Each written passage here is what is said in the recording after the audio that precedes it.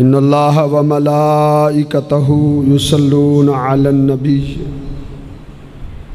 या अय्युहल्लज़ीना आमनू सल्लु अलैहि वसल्लिमु तस्लीमा। अल्लाहुम्मा सल्लि अला मुहम्मदिन व अला आलिहि व अस्हाबिहि वसल्लम।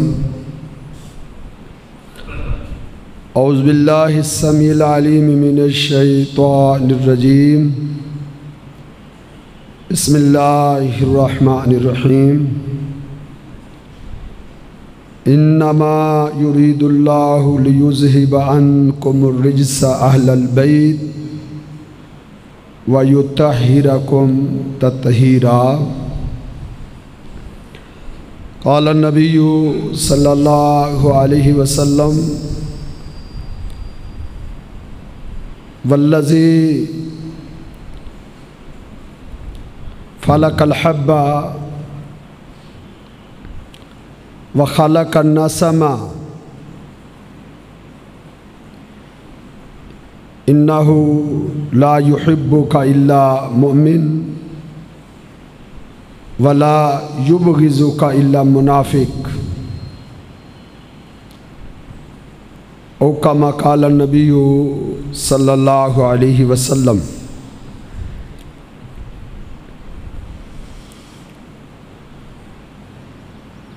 सैदना अलीमरतज़ा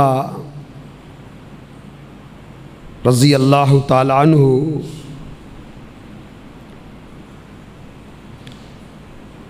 अल्लाह रब्बुल ने उन्हें बड़ी अज़मतों और बड़ी रिफतों से नवाजा था। उनका बहुत बड़ा मुकाम व मरतबा था। बल्कि कई एक मुहदसी ने तो यहाँ तक लिखा है कि जिस कसरत से फजीलत की अहादीस जनाब अलीमरतज़ा रज़ी अल्लाह तु के बारे में हैं। इस कसरत से और किसी के मतलब फजीलत की अहादीस नहीं आई। इसका यह मतलब नहीं है कि बाकी सहाबा की फजीलत नहीं है, उनका मर्तबा और उनकी रिफत नहीं है। मुकाम और मर्तबा और फजीलतें सब की हैं। अल्लाह के पैगंबर अलैहि वसल्लम के तमाम सहाबा सब अजीम थे। उनमें तफावत था। फजीलतों में एक दूसरे के दरमियान फ़र्क था। लेकिन फजीलतें सब की थी। जो फजीलत जनाब अबू बकर सदीक रज़ी अल्लाह तु की है, वो फजीलत जनाब उमर बिन ख़ताब की नहीं है। जो फजीलत उमर बिन ख़ताब के हिस्से में आई है, वो जनाब उस्मान के लिए नहीं है। जो फजीलत अल्लाह ने जनाब उस्मान को अता की है कुछ खसाइस में वो जनाब अली को नसीब नहीं हुई। जो फजीलत, जो अज़मत और रिफत, अल्लाह ने जनाब अली मुर्तज़ा रज़ी अल्लाह तु को अता किया है, वो दूसरे सहाबा का नहीं है। जो अल्लाह ने मुकाम बदरियों को दिया है, तीन सौ तेरह जो बदर में शरीक हुए थे, वो ओहद वालों का नहीं है। जो ओहद में शामिल हुए हैं, वो मुकाम खंदक वालों का नहीं है। जो खंदक वालों का मुकाम है, वो हुदैबिया वालों का नहीं तो साहबा कराम के मुकाम और मर्तबे में फ़र्क मौजूद था, लेकिन फजीलतें सब की थी। कई फजीलतें अलहदा अलहदा हैं। सब ये अल्लाह के पैगंबर के फूल थे ये सारे। इनकी खुशबुएँ जुदा जुदा थी। तो जनाब अली मुर्तज़ा रज़ी अल्लाह तु एक ऐसे फूल थे कि उनकी खुशबुएँ बाकी साहबा से जुदा थी। तो मुहदसिन ने यह जो लिखा है कि जो जितनी अहदीस जनाब अलीमरतज़ा रज़ी अल्लाह तु की फजीलत में है, इतनी हदीस बाकी साहबा की फजीलत में वारद नहीं हुई। इसकी वजूहत है। अल्लाह के पैगंबर सल्लल्लाहु अलैहि साहब वही थे। अल्लाह रबुल्ज़त ने आपको वही के ज़रिए कई चीज़ों की खबर दी थी। जहाँ अल्लाह ने आपको वही के ज़रिए सैदना हुसैन रज़ी अल्लाह तु की शहादत की खबर दे दी थी।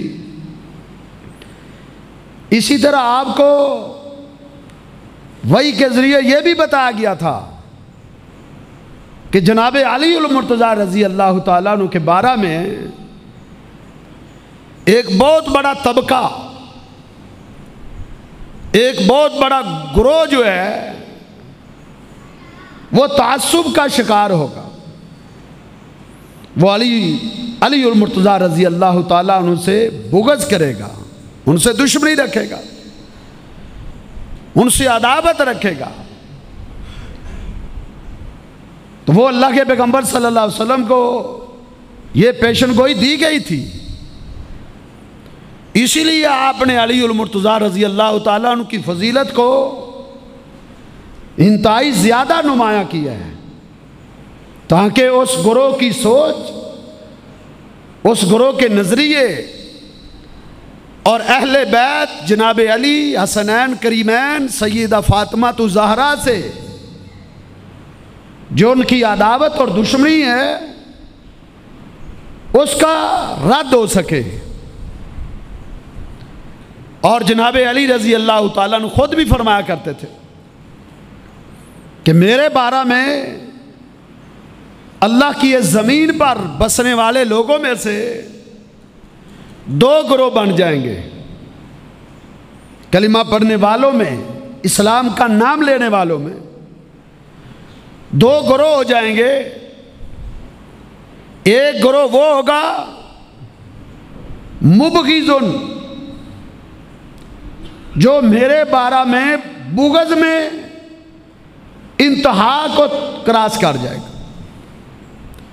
शदीद अदावत और शदीद दुश्मनी रखेगा।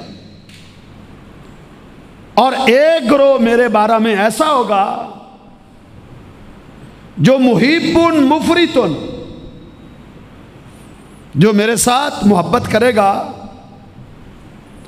लेकिन ऐसी मोहब्बत करेगा, मेरे साथ मोहब्बत करेगा, लेकिन ऐसी मुफरी तो वो मोहब्बत में हद को फलांग जाएगा।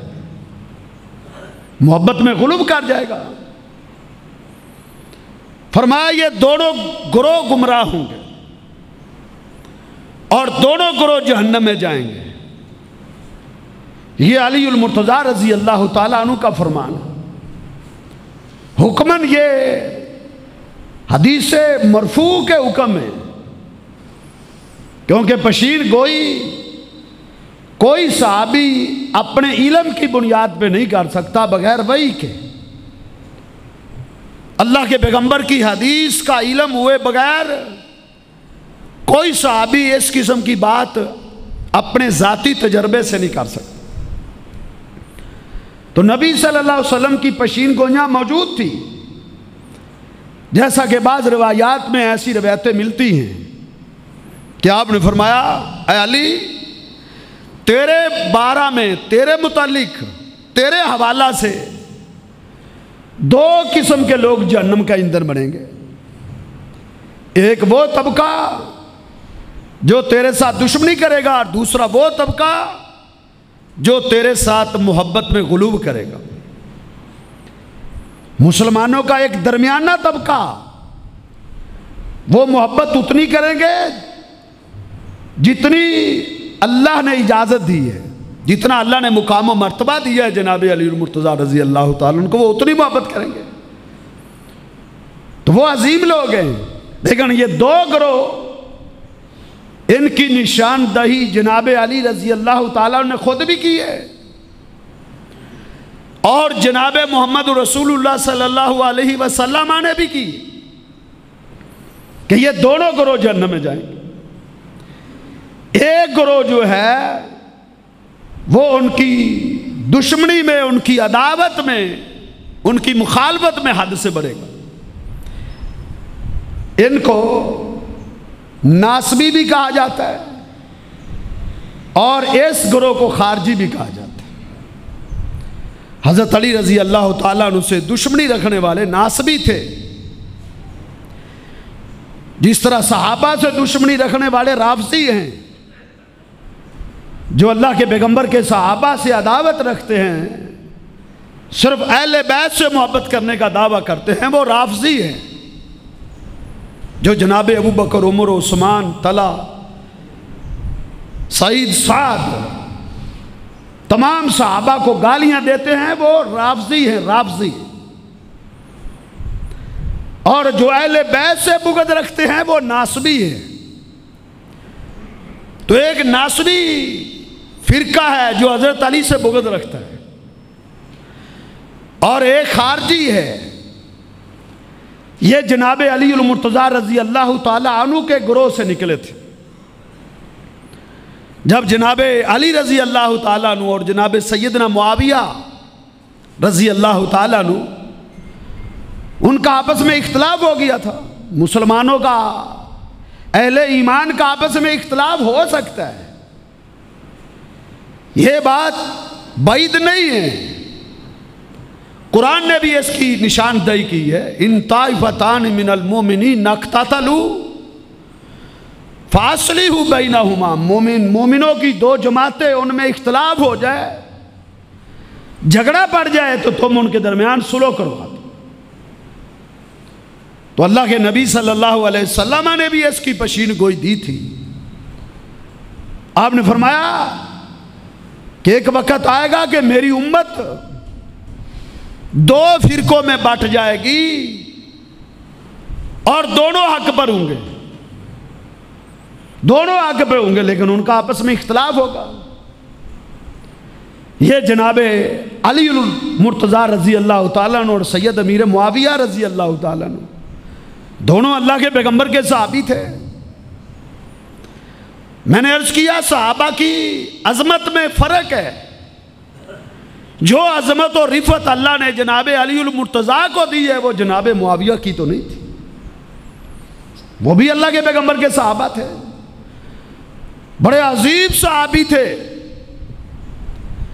अल्लाह के पैगंबर सल्लल्लाहु अलैहि वसल्लम के वो कातबे वही थे। आपके पास बैठ के वही लिखा करते तो इनके दरमियान इख्तलाफ हुआ है। तो वो उस इख्तलाफ के वक्त जो हज़रत अली रज़ी अल्लाह तु के ग्रोह में लोग मौजूद थे,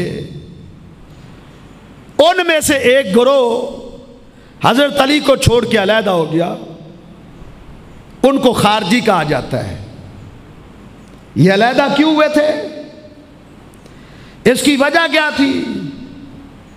इसकी वजह यह थी कि हज़रत अली रज़ी अल्लाह तु और जनाबे मुआविया रज़ी अल्लाह तु दोनों ने सुलह करने के लिए, झगड़े को ख़त्म करने के लिए दो आदमियों को फैसल मान लिया था। अबू मुसाशरी रज़ी अल्लाह तु को और अमर बिन आस रज़ी अल्लाह तु को, इन दो साहबा को उन्होंने जज तस्लीम कर लिया था। कि ये दोनों जज हैं, जो फैसला ये करेंगे, दोनों पार्टियों को मंजूर हो। दोनों राज़ी हो गए। हज़रत अली रज़ी अल्लाह तु के ग्रोह में जो लोग मौजूद थे, वो सुलह चाहते ही नहीं थे। वो चाहते थे मुसलमानों के अंदर इंतशार रहे, मुसलमानों के अंदर फिरका बंदी रहे। कत्लो गारत होती रहे। कुछ लोग शर पसंद अनासर होते हैं, जो लड़ाने की कोशिश करते हैं, जिनकी जस्तजू और कोशिश होती है झगड़े को तूल देने की। वो लड़ाई चाहते थे। उनमें अब्दुल्ला बिन सबा, जो यहूदी नस्ल का शख्स था, जो यहूदियों का लांच किया हुआ बंदा था। जहरी उसने इस्लाम का लिबादा ओढ़ा था और अंदर खाते वो यहूदी था। जब उन्होंने समझा कि मुसलमानों को हम किसी मैदान में शिकस्त नहीं दे सके, हर मैदान में उनको मुँह की खाना पड़ी है तो उन्होंने मुसलमानों को नुकसान पहुँचाने के लिए इस्लाम के लिबादा में कुछ लोग अंदर दाखिल किए। उनमें अब्दुल्ला बिन सबा था। उसने मुसलमानों के अंदर इंतशार बर्पा करने के लिए एक बड़ी मज़बूत पलाना की। उसने सबसे पहले तकवा और परहेजगारी का एक खोल चढ़ाया। और फिर उसने अहले बैत की मोहब्बत का नारा बुलंद किया कि मुझे मैं अहले बैत का बड़ा मुहब हूँ। और यह पहला शख्स था जिसने ये आवाज़ बुलंद की थी कि अल्लाह के पैगंबर के बाद खिलाफत हज़रत अली का हक था, अबू बकर सदीक का हक नहीं था। इसका बानी इस नुकते का अब्दुल्ला बिन सबा था इससे पहले किसी ने यह बात नहीं की थी। सब पूरी उम्मत मुतफिक थी, अबू बकर सदीक की खिलाफत पे फिर उमर बिन खताब की खिलाफत। इसी तरह सैदना उस्मान गनी रज़ी अल्लाह की खिलाफत पर इतफाक हो गया था। अली मुर्तज़ा और अहल बैत ने जनाब अबू बकर सदीक के हाथ पर भी बैत की है। और जनाब उमर बिन खताब के हाथ पर भी बैत की है। जनाब उस्मान गनी रज़ी अल्लाह तुके हाथ पर बैत की। बल्कि यह तफसील मौजूद है। जनाब अली मुर्तज़ा रज़ी अल्लाह खुद फरमाया करते थे कि सबसे पहले अबू बकर के हाथ पर मैंने बैत की, फिर मैं उसके दस्ते बाजू बना, फिर मैंने उसकी क्यादत और सियादत में मैंने जंगे लड़ी, मैंने जिहाद किया। कुफार की सरकोबी की। फिर उमर बिन खताब खलीफा बने, हम उसके वज़ीर बन गए। हम उसके दस्ते बाजू बन गए। हम उसकी क्यादत में इस्लाम के झंडों को बुलंद करते। फिर उस्मान गनी खलीफा हुए। जनाब अली कहते हैं कि जनाब उस्मान ने मुझे अपना मशीर बना लिया। ये जनाब उस्मान के मशीर थे। कई मामलात में अली अली मुर्तज़ा रज़ी अल्लाह तु जनाब उस्मान मशवरा करते तो अहले बैत तो सब मुतफिक थे। अब्दुल्ला बिन सबा ने यह नुकता उठाया कि हर नबी का एक वसी होता है, जिसको नबी वसीयत करके जाता है कि मेरे बाद सियादत और क्यादत, हुकूमत तेरे हाथ में का अल्लाह के पैगंबर सल्लल्लाहु अलैहि वसल्लम का जो वसी है, वो अली। ये जो आज अजान में इजाफा किया हुआ है ना, अशहदु अन्ना मोहम्मद रसूलुल्लाह के साथ अली वलील्ला वसी रसूल खलीफा तो बिला फ़सल। अल्लाह के पैगंबर की हदीस में और कुरान में यह इजाफा कहीं नहीं मिलेगा। इसका बानी यही अब्दुल्ला बिन सबा था तो जब हज़रत अली रज़ी अल्लाह तु ने दो बंदों को जज मान लिया, उस वक्त ये लोग जनाब अली मुर्तज़ा रज़ी अल्लाह तु से अलहदा हो एक बहुत बड़ी जमात, उनको खवारज कहा जाता था कि ये खारजी हैं। क्योंकि ये हज़रत अली के ग्रोह से निकल गए। और इतने सख्त हो गए थे, इतने मुतशद हो गए थे कि इन्होंने अली मुर्तज़ा रज़ी अल्लाह तु की फजीलत को क्या मानना था? इन्होंने उनके मुकाम और मर्तबे को क्या तस्लीम करना था? इन्होंने नौज बिल्ला हज़रत अली रज़ी अल्लाह उन पर कुफर का फतवा लगा दिया। उनके हज़रत अली नौज बिल्ला काफिर हो गए, इस्लाम से खारिज हो उनको उनसे लड़ना हलाल हो गया ये इस ग्रोह का नज़रिया था। हज़रत अली रज़ी अल्लाह तु ने इन लोगों से कई दफ़ा टेबल टॉक किया।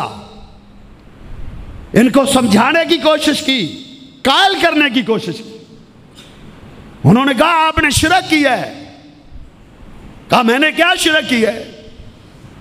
कहा, आपने शिरक यह किया है कि आपने अबू मूसा, अशरी और अमर बिन नास को हाकिम मान लिया, हाकिम। कहते कुरान कहता है, इनिल हुक्म इल्ला हाकिम तो सिर्फ़ अल्लाह है। उन्होंने जहरी मफहूम लिया। न सिया को देखा, न सबा को देखा। जनाब अली मुर्तज़ा रज़ी अल्लाह तु ने क्या जवाब दिया? कलिमा तो हक इन उरीदा बिहिल बातिल। ये गुमराह लोग हैं। पढ़ते कुरान की आयत है मतलब गलत लेते। जिस तरह आज भी गुमराह फिरकों का यही वतीरा है।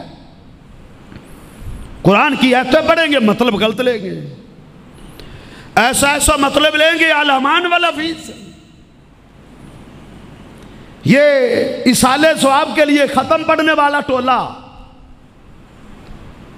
ये अपने ख़त्म की दलील कुरान से देता है, कहता है, पहले बारे में ख़ातम अल्लाह वाला कुलूबी। कुरान में ख़त्म का लफज है। कोई इनसे पूछो, भले मानसो, तर्जमा क्या है?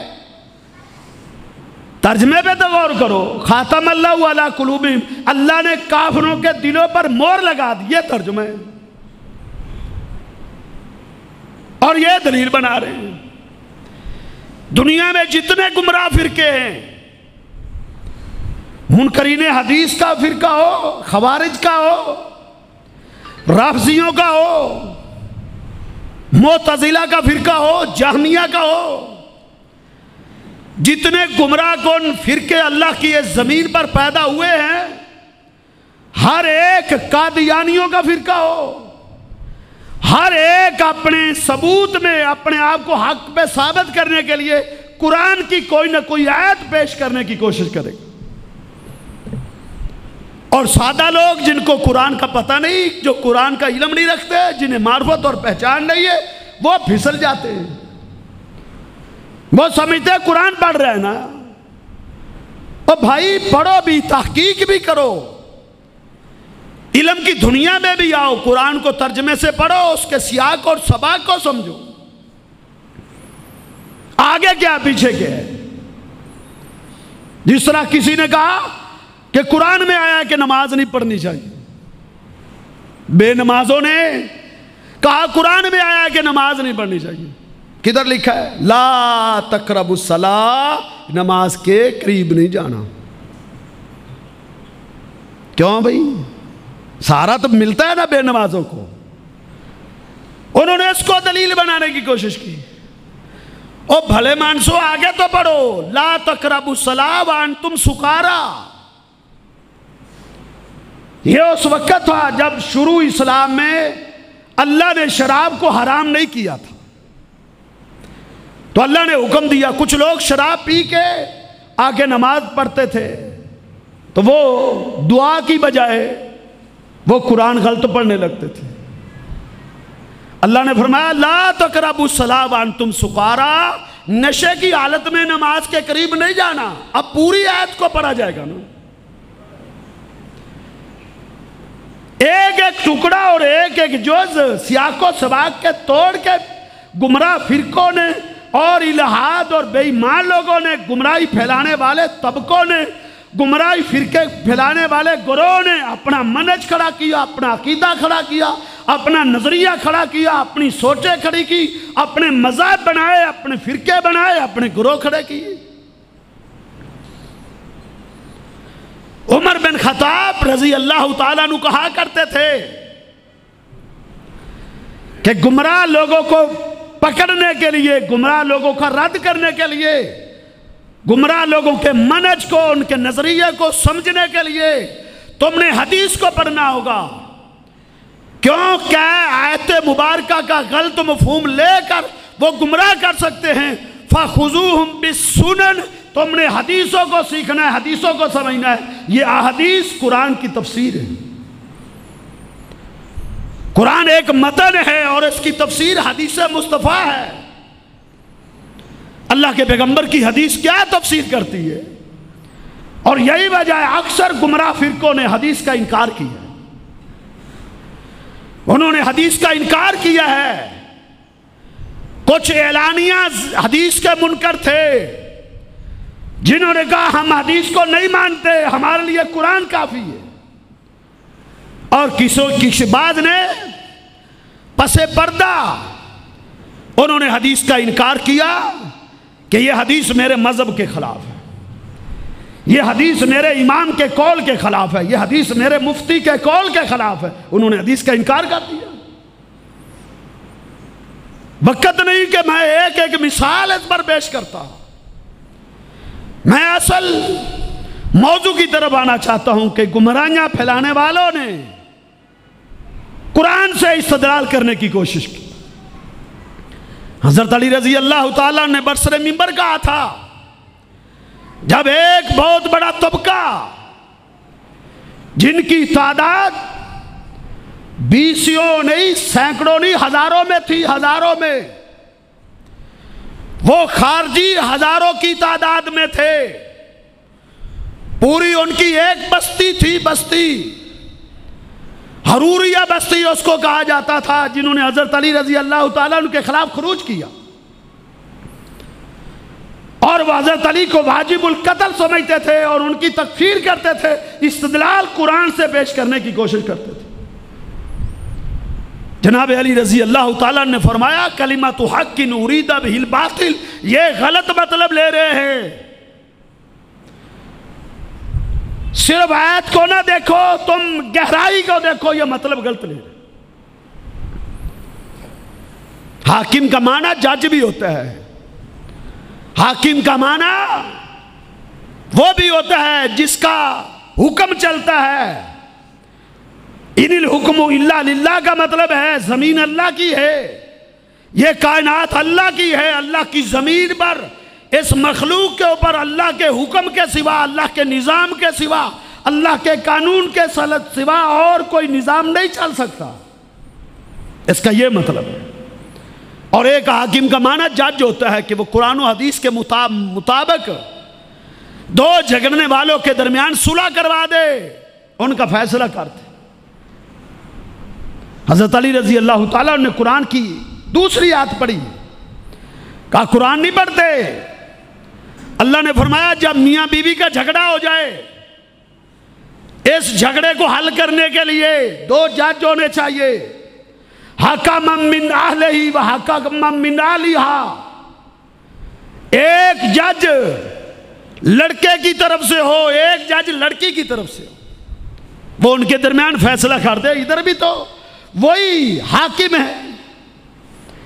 तो कुरान ने इजाज़त दी है कि सुलह करने के लिए झगड़ों को रफा करने के लिए जज बनाना कुरान से साबित है। लेकिन वो तबका अड़ा रहा। जनाब अली मुर्तज़ा रज़ी अल्लाह ने अब्दुल्ला बिन अब्बास को भेजा। हिबरुलमा थे, बहुत बड़े फ़कीर थे, बहुत बड़े आलिम थे। अल्लाह के पैगंबर सल्लल्लाहु अलैहि वसल्लम तहजद के वक्त उठ के दुआ करते थे। अल्लाह, कुरान तूने मुझ पर नाजल किया है, इसकी तफसीर अब्दुल्ला बिन अब्बास को सिखा दे। अल्लाह मालिम किताबा। अल्लाह इसको किताब और हमत की तालीम सिखा दे। जनाब अब्दुल्ला बिन अब्बास को भेजा, उन्होंने उनसे मुनाजरा किया। कई घंटों तक उन खबारिश से मुनाजरा चलता रहा। ताकि मसला हल हो जाए, जंग ना करनी पड़े। कलिमा पढ़ते हैं, इस्लाम का नाम लेते। बल्कि बड़े इबादत गुजार थे। बड़े इबादत गुजार थे। हज़रत अब्दुल्ला बिन अब्बास जब वापस आए तो उनकी इबादत का ज़िक्र किया। कहा, मैंने उनको नमाज़ पढ़ते देखा है। इतनी खूबसूरत नमाज़ पढ़ते हुए मैंने किसी को नहीं देखा। ये कौन थे? ये खारजी थे। कि इतनी खूबसूरत नमाज़, इतने लंबे सजदे, इस कदर खुशू और खुशू वाली नमाज़ कि उनके जिस्म पर नमाज़ पढ़ने की वजह से पेशानियों पर निशान पड़ गए थे। इतने इबादत गुजार लोग थे। अक्सर रोजा रखते थे। सदका दो खैरात ज़िक्र करते रहते तो ज़िक्र। एक खारजी को जब मारा गया तो जब उसके बाजू को काटा गया, उसने कोई परवाह नहीं की। उसने कहा, मैं अल्लाह के रास्ते में काट रहा हूँ। उसकी टांग को काटा गया। दोनों बाजू काट गए, दोनों टांगे काट गई फिर उसकी जबान को काटने लगे तो वो तड़फने लगा। खारजी चीखने लगा, चिल्लाने लगा। मारने वालों ने कहा, अब क्या हुआ उसने कहा, इस जबान से तो मैं अल्लाह का ज़िक्र कर रहा था। ये खारजी थे। यानी इतने सख्त थे अपने मौके पे। वो अपने आप को हक पे समझते थे। तो ये एक तबका था। हज़रत अली रज़ी अल्लाह तला ने फिर इनसे जंग की। एक बहुत बड़ा मार्का हुआ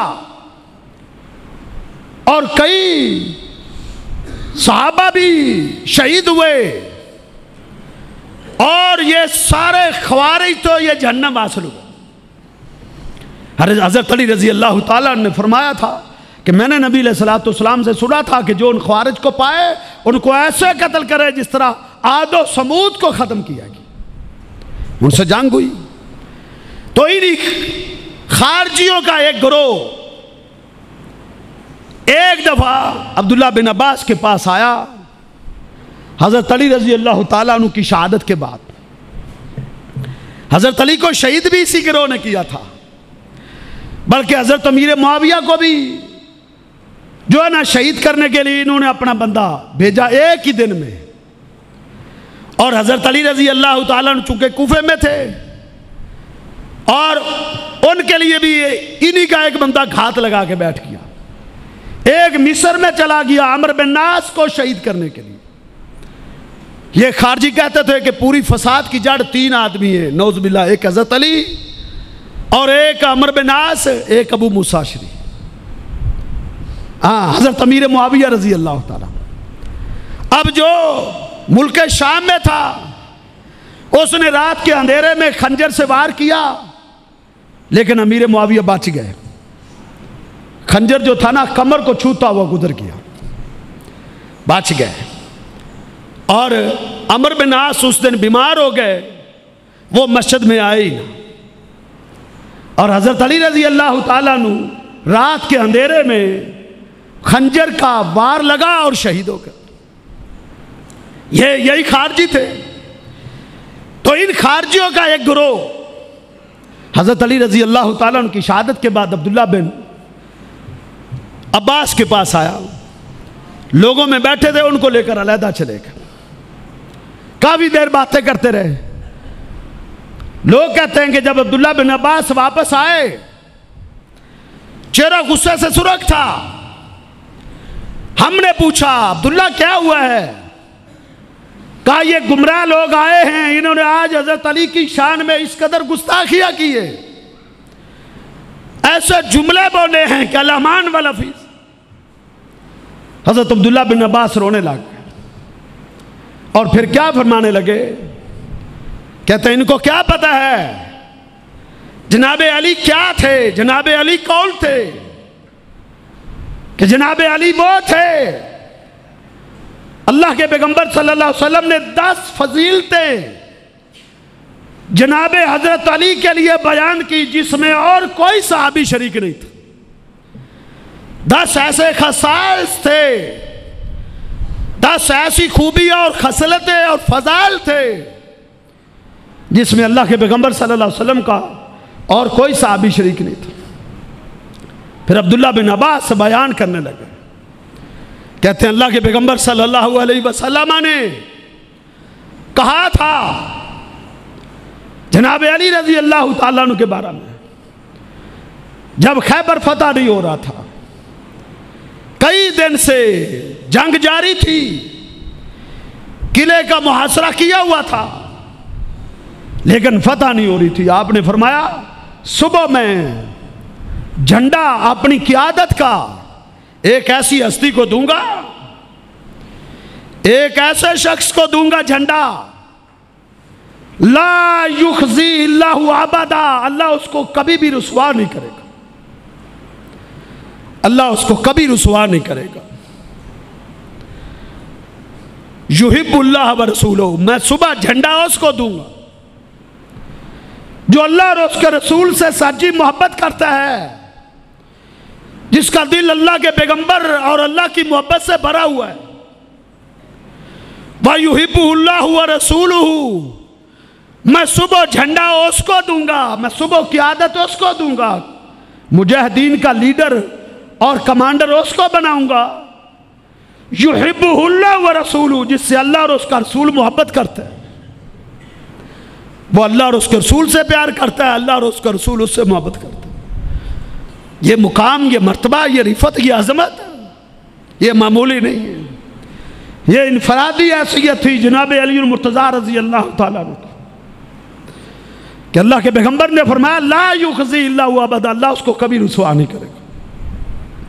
यही बात खदीजतुल्कुबरा ने हमारे आका के लिए कही थी। जब आप घबराए हुए घर आए थे, पहली वही के नजूल के बाद तो खदीजा खदीजतुल्कुबरा ने क्या कहा था?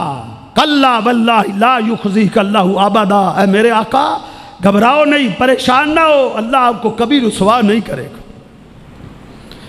आज अल्लाह के नबी पशीन गोई दे रहे हैं कि ला युखजी आबादा अल्लाह उसको कभी रुसवा नहीं करे क्या मतलब है कि जनाब अली मुर्तज़ा रज़ी अल्लाह तला के साथ अल्लाह की मदद और नुसरत साथ रहेगी? दूसरी हदीस के अल्फाज हैं यदई सुबह जब मार का होगा, अल्लाह इसके हाथ पे मुसलमानों को एक अजीम फतह देगा। अल्लाह फतह से नवाज़ देंगे। कितनी बड़ी फजीलत है। और फिर क्या कहा? युहिबुल्लाह रसूल वो अल्लाह और उसके रसूल से मोहब्बत करता है। ये गारंटी तो दुनिया में किसी को नहीं मिली। मोहब्बत के दावे तो करने वाले आज भी हैं, उस वक्त भी थे। सच्ची मोहब्बत करने वाले मौजूद थे। लेकिन गारंटी के साथ कि युहिबुल्लाह रसूल अल्लाह और उसके रसूल से वो मोहब्बत करता है, ये एक सनद है। मेरे भाइयों, ये एक सन ये एक तमगा है, एक पैमाना है। एक सर्टिफिकेट है कि वो वाक्यतन अल्लाह और उसके रसूल से मोहब्बत करता है, ये वही के ज़रिए उनकी मोहब्बत को बताया जा और फिर अल्लाह और उसका रसूल उससे मोहब्बत करता है। ये बहुत बड़ी बात है कि अल्लाह और उसका रसूल उससे मोहब्बत करता है। गारंटी के साथ इसकी बशारत और नवीद ज़मीन पर उतर चुकी है। और उस दिन साहबा कराम जिन्होंने कभी तमन्ना नहीं की थी, हमें कोई अहदा मिले, क्यादत मिले, सियादत मिले। लेकिन इतने फजाइल सुनने के बाद हर साहबी ने यह तमन्ना करके रात को सोया था। काश ये सुबह झंडा मेरे हाथ में आए। काश ये क्यादत और सियादत मुझे मिले। इसलिए नहीं कि मुझे क्यादत मिल जाएगी। इसलिए ये फजाल ये मनाकब, ये अजमतें और ये रिफतें शायद मेरे हिस्से में आ जाए। हर शख्स तमन्ना करता हुआ सोया था। लेकिन चश्मे फलक ने देखा, जब सुबह हुई तो अल्लाह के पैगंबर वसल्लम ने झंडे को लहराया हुआ था। तीन दफ़ा अल्लाह के पैगंबर ने झंडे को लहराया, तीन मरतबा। इस्लाम के झंडे को ऊँचा किया। साहबा का मजमा है, बड़ी तमन्ना और बड़ी चाहत। नज़रों से साहबा झंडे को देख रहे हैं। अल्लाह के नबी झंडे को बुलंद करते हैं, नीचा करते हैं, बुलंद करते हैं, नीचा करते हैं। और साहबा के घरों में नज़र डाल रहे हैं। प्यासी नज़रों से बार बार देखने के बाद पूछते हैं, आई ना अली, मेरा अली मुझे नज़र नहीं आ रहा, अली कहाँ है? अली को लाया जाए। कहते, अल्लाह के रसूल, उसकी तो आँखों में तकलीफ़ है, उसकी आँखें दुख रही है, वो खैमे में है। बिस्तर अलालत में बड़े हुए अल्लाह के पैगंबर सल्लल्लाहु अलैहि वसल्लम ने फरमाया, जाओ, मेरे अली को लेकर आओ। अली को लाया गया। रज़ी अल्लाह अल्लाह के पैगंबर सल्लल्लाहु अलैहि वसल्लम ने अपने लुआब दहन को निकाला, जनाब अली की आँखों में डाला। उसी वक्त लमा बार के अंदर अल्लाह ने जनाब अली रज़ी अल्लाह तु को शफा अता कर दी। आँखें पहले से तेज हो गई, पहले से ज़्यादा बनाई बढ़ गई। नबी सलाम ने झंडा दिया, फरमाया, अली, पकड़ो अल्लाह के नाम पे लड़ो जाके। जंग की, लड़ाई की। शाम से सूरज गरूब होने से पहले पहले अल्लाह ने अली मुर्तज़ा के हाथों पर एक अजीम फतह से नवाज़ दिया। मुसलमान गनीमतों के साथ, लौडियों के साथ, गुलामों के साथ वापस बलते थे। और इन्हीं गुलामों और लौंडियों में से हुई बिनते अख्तब आई थी। एक यहूदी सरदार की बेटी थी, जिस जो पैगंबर सल्लल्लाहु अलैहि वसल्लम के हिस्से में आई, आपने उसको आज़ाद किया, उससे निकाह किया, वो इस्लाम दाखिल हो, इस्लाम कबूल करके अल्लाह के पैगंबर के निकाह में आ गए महातुलमोमिन में उसको मुकाम मिल गया। अब्दुल्ला बिन अब्बास आज रो रहे हैं। कहते हैं, खारजियों ने, आज मेरे सीने को छलनी कर दी। खारजियों ने आज मेरे दिल को जख्मी कर दिया है कि उन्होंने अली मुर्तजा रज़ी अल्लाह तु की तोहन की। बड़े सगत जुमले बोले कहा, दस फजीलते अल्लाह ने अता की जनाब अली को, जो और किसी के हिस्से में नहीं आए। फिर दूसरी फजीलत बयान की। का अल्लाह के नबी सल्लल्लाहु अलैहि वसल्लम ने जब कुरान की आयत नाजल हुई अहले बैत की फजीलत में अहले बैत की मनकबत में, अहले बैत की अजमत में। इन्नमा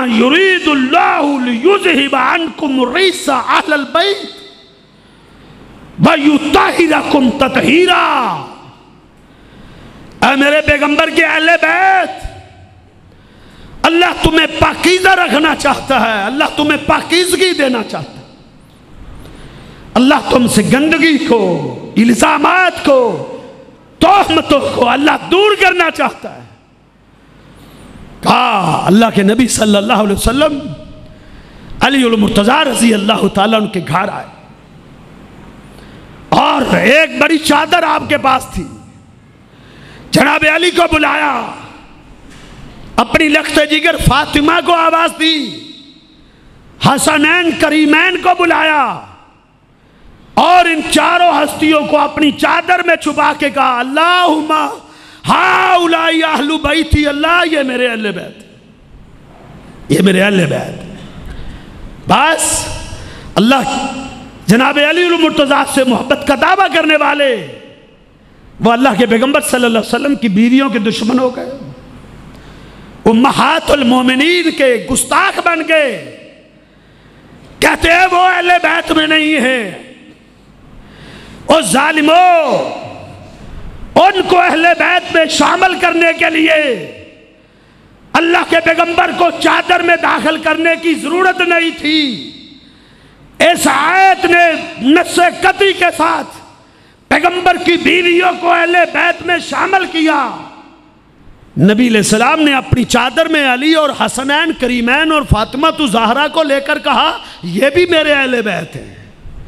सिर्फ़ मेरी बीवियाँ अहले बैत नहीं, ये भी अहले बैत हैं। ये इंसाफ की बात है। ये इंसाफ की बात है। सबकी अजमतों को माना जाए, जो जो अल्लाह ने उनको अजमत अता कर रखी। तो ये अजमत बयान की। का ये है अली मुर्तज़ा रज़ी अल्लाह और फिर आओ, तीसरी फजीलत बयान की। का एक दिन अल्लाह के पैगंबर सल्लल्लाहु अलैहि वसल्लम ने अपने चचा जात भाइयों को इकट्ठा किया। तमाम चाचाओं के जो बेटे थे, उन सबको बुलाया और सबको जमा करके कहा अयुकुम अयुकुम यू आली मिन कुम फिर दुनिया वाला आखिरा। ओ मेरे कजनों, ओ मेरे चचाओं के बैठो मैं मोहम्मद तुमसे पूछता हूँ, कौन है जो दुनिया और आखिरत में मेरा दोस्त बने? कौन है जो दुनिया और आखिरत में मेरा दस्ते बाजू बने? अयुकुम युवाली अयुकुम युआली मिनकुम, कौन है? फिर दुनिया वाला आखिरत, दुनिया में भी आखिरत में मेरा दोस्त बन जाए। अली मुर्तजा खड़े हुए सबसे पहले। कहा, अंता आना वाली का फिर दुनिया वाला आखिर अल्लाह के रसूल, मैं आपका दोस्त हूँ, मैं आपका दस्तेबाजू हूँ, मैं आपका बेली हूँ, दुनिया में भी आखिरत में। अल्लाह के नबी सल्लल्लाहु अलैहि वसल्लम ने फरमाया हाँ हाँ अंत वली फिर दुनिया वाला आखिर। हाँ अली तो मेरे दोस्त हो, दुनिया में भी आखिरत अल्लाह के नबी ने फिर अपने चाचाओं को, के बेटों को मुखातब किया। का कौन है जो मेरे साथ दोस्ती करे दुनिया और आखिरत में? कोई ना बोला। अली मुर्तजा रज़ी अल्लाह तु फिर खड़े हुए। अल्लाह के रसूल आना वाली यू का फिर दुनिया वाला आखिरत। दुनिया और आखिरत में मैं आपके साथ मैं आपका दस्तेबाज हूँ। आपका साथ निभाऊँगा, दुनिया में भी। जहाँ खड़े करोगे, खड़ा हो जाऊँगा। जहाँ बिठाओगे बैठ जाऊँगा। जहाँ कहोगे, खून की नदियाँ बहा दूँगा। आपका सहारा बनूँगा। फिर दुनिया ने देखा पर चश्मे फलक ने देखा। अब्दुल्ला बिन अब्बास ने भी उसको बयान किया। चौथी फजीलत में उसको तस्करा किया। उससे यह भी पता चलता है कि वाक़ता वो वली ही थे दुनिया में। अल्लाह के नबी सल्लल्लाहु अलैहि वसल्लम की ने हिजरत की रात। जब आपको पता चला कि आपके घर का मुहासरा कर दिया गया है, कुफार तलवारों के साथ, नेजों के साथ अल्लाह के पैगंबर के घर का मुहासरा मुहासरा किए हुए हैं, पत्थरों के साथ खड़े। कि आज मोहम्मद रसूलुल्लाह सल्लल्लाहु अलैहि वसल्लम को जो है, वो कहते थे, हम ख़त्म कर देंगे। अल्लाह के नबी सल्लल्लाहु अलैहि वसल्लम ने अली मुर्तदा रज़ी अल्लाह तआला की तरफ़ पैगाम भेजा। कि अली को लाया जाए अली मुर्तज़ा को बुलाया जाए। बुलाया गया। फरमाया, अली, देख रहे हो मंजर को? कहाँ अल्लाह के रसूल आपके घर का मुहासरा किया हुआ है? फरमाया, आज रात तुरे एक कुर्बानी देनी है। लबई वसादई या रसूल अल्लाह हाँ अल्लाह के रसूल में हाजिर हूँ। कुर्बान चाहूँ मैं आप पर। आपकी इतात, ताबेदारी के लिए मैं तैयार। कहते हैं, आज तूने मेरे बिस्तर पर सोना। और चेहरे से कपड़ा नहीं हटाना। तेरे साथ जो भी हो जाए। कुफार जो भी करे, आपने चेहरे से कपड़ा नहीं हटाना। क्या मतलब है? कुफार यही समझते रहे कि अल्लाह के नबी लेटे हुए। ताकि इनको ऐसे ही पता चले। कल रसूल ठीक। जनाब अली, अल्लाह के नबी वसल्लम के बिस्तर पर लेट गए। अल्लाह के नबी सल्लल्लाहु अलैहि वसल्लम निकले, कुफार का जुर्मट था। अल्लाह ने हुक्म दिया, मेरे नबी, मुट्ठी में मट्टी डाल के फेंको, अंधे हो जाएँगे, आप गुजर जाएँगे। गुजर गए, किसी को पता ही ना चला। सारी रात पत्थर मारते रहे। सारी रात अल्लाह के पैगंबर सल्लल्लाहु अलैहि वसल्लम की चारपाई पे पत्थरों की बारिश बरसती रही। हज़रत अली रज़ी अल्लाह तला पे जब पत्थर पड़ते तो इतनी तकलीफ़ होती, इतनी तकलीफ़ होती कि अपने जिसम को इकट्ठा कर लेते थे। सिमट जाते थे सहम जाते थे। सबर और इस्तकलाल के दामन को नहीं छोड़ा। अपने चेहरे से, अपने पर्दे और पल्लू और चादर को नहीं हटाया। सहम जाते थे। फिर पत्थर आता। सारी रात पत्थर खाते। लहूलुहान हो गए। चेहरे से कपड़ा नहीं हटाया।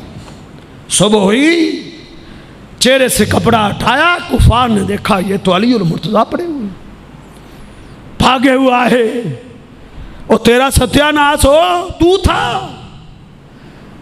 हम तुझको तो इतनी तकलीफ़ नहीं देना चाहते थे। हम तो किसी और को इतनी तकलीफ़ देना चाहते थे। तू इतनी तकलीफें सहता रहा तूने अपने चेहरे से कपड़ा नहीं हटाया। ये कुर्बानियाँ थी। ये जानबाज लोग थे, फिदाकार लोग थे। ये थे कि हम तो वली जी फिर दुनिया वाला आखिर दुनिया में भी तुम मेरे साथी हो आखिर कई कई एक फजीलतें हैं जो अल्लाह ने अपने पैगंबर पे नाजर की। वक़्त नहीं है कि मैं उन तमाम तफसीलात की तरफ़ जाऊँ। तो मेरे भाइयों, ये अजीम लोग हैं, अल्लाह के पैगंबर सल्लल्लाहु अलैहि वसल्लम के जो अहल बैत हैं, जिनमें अलीमरतज़ा रज़ी अल्लाह तसनैन करीमैन सैदा फ़ातिमा तुजहरा ये अजीम हस्ती हैं। हज़रत अली रज़ी अल्लाह तु एक दिन मिंबर में खुतबा देते हुए कहा था, आखिरी हदीस अर्ज़ करता कहते हैं, वल्लाजी नफसी भैया दी मुझे ज़ात की कसम। जिसके हाथ में मेरी जान है। मैंने अपने पैगंबर से सुना था कि मुझे ज़ात की कसम जिसने खेतियों को उगाया, जिसने इंसान को पैदा किया, आपने नबी जनाब अली फरमाते हैं कि अल्लाह के नबी ने मुझसे आद लिया क्या अली अल्लाह युहिबानी इल्ला मोमिन वला युबगिजानी इल्ला मुनाफिक कि तुझसे मोहब्बत एक मोमिन करेगा और तुझसे नफरत वो एक मुनाफिक करेगा। कहा, मुझसे मोहब्बत करने वाले मोमिन हैं। तो मेरे भाइयों, ये तवील मौजू है। इन अगले खुतबा जुमा में इन इसकी तफसील करेंगे। और बड़ी इसमें तफसील आएगी। ये अभी एक ग्रोह का तस्करा मैंने किया है, जो हज़रत अली रज़ी अल्लाह के दुश्मन थे। फिर अब्दुल्ला बिन अब्बास ने उनका रद्द किया। दस खसाल को बयान करके, अभी मैंने तीन बयान किए, सात बाकी है। वो सात अजमतें और खसाल भी बयान करूँगा इनशाला और एक दूसरा करो, जो मुहिबुन मुफरितुन जिन्होंने हज़रत अली की मोहब्बत में गलूब किया, मोहब्बत में हद को कराश किया हज़रत अली रज़ी अल्लाह तु की, को आड़ और ढाल बना के कैसे कैसे गुमराह नजरियात घड़े, किस तरह की गुमराहियाँ घड़ी, किस तरह की सोचें अपनाई उन्होंने और इस्लाम का हुलिया किस तरह उन्होंने बिगाड़ा, इस ग्रोह की निशानदही और इस ग्रोह की तफसील और उसकी वजात उनके अकायद, उनके नज़रियात, उनकी सोचों का हर मुसलमान के पास इलम होना ज़रूरी है, इसलिए उस ग्रोह का तस्करा ज़रूरी है। मेरा दिल तो था कि मैं अगले जुमे में जनाब उस्मान की सीरत पे जुमा पढ़ाऊं, लेकिन नहीं, अभी ये मौजू मुकम्मल नहीं है। उस ग्रोह का तस्करा करना ज़रूरी है।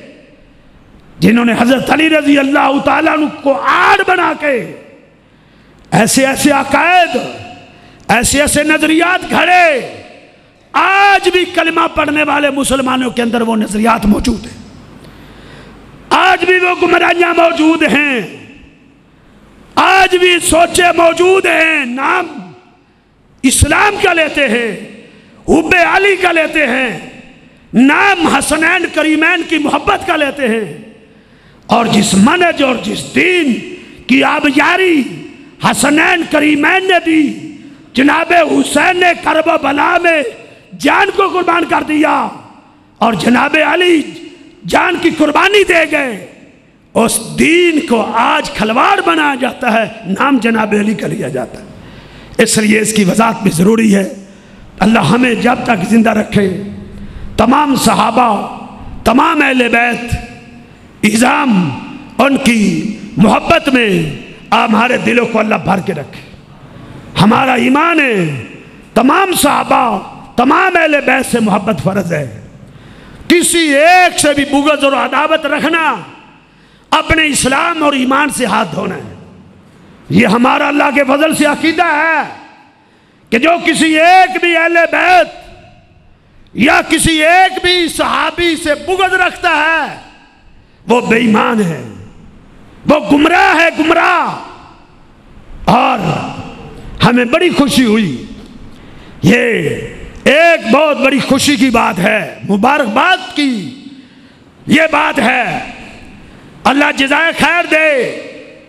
हमारे उन उलामा को, जो असम्बलियों में बैठे हैं, जो सेनेट में बैठे हैं, उनकी कोशिशों से, उनकी काविशों से, बाज लोग तो बातें करते हैं कि उन्होंने क्या किया?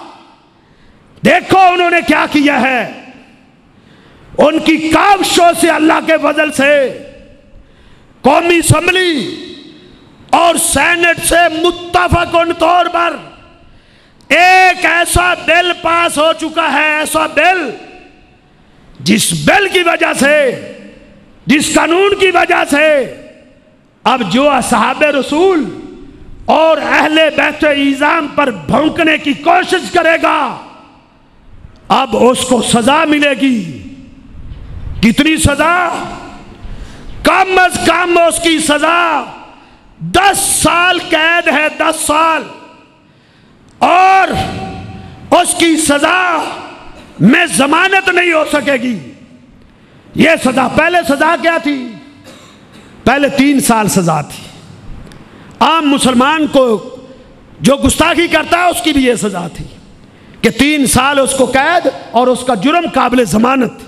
पहले यह था, हमारे उलमा ने कोशिश की, उन्होंने मेजते की, उन्होंने कहा, जहाँ तुम इस पार्लियामेंट और सेनेट से कई बिल पास कर चुके हो, अल्लाह के पैगंबर के सहाबा, उनकी अजमत, उनकी रिबत का एक काम कर जाओ, अहले बैत की अजमत का, और सहाबा की अहले बैत का एक काम कर जाओ, ये बिल पास करो।